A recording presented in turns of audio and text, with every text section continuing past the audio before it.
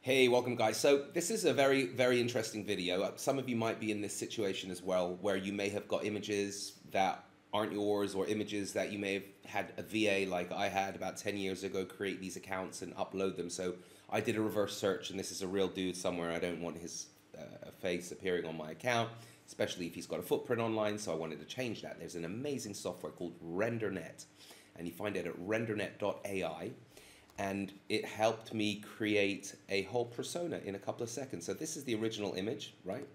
Got rid of that from the Facebook. This is the current image here. I had it create a likeness of about six. It's got different temperature settings that you can that you can have it set at.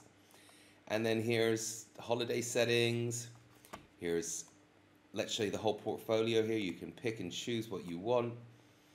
It's got different modes. I'm not familiar exactly what they do. I'm just testing it all out right now and absolutely loving it. It's really easy. You have this thing called face lock. Um, you have this thing where you can create characters and just like this is a character, so we created this character. And it's got a whole bunch of other features as well where you can create videos out of these images as well. I haven't even gotten into that. But definitely worth checking out rendernet.ai. I think it's the best one out there. If you've got another one that does something like this, I'd love to hear about it. Let me know in the comments. But from what I've researched and seen around, I think this is probably the best one. It's very easy to use and just really high quality images.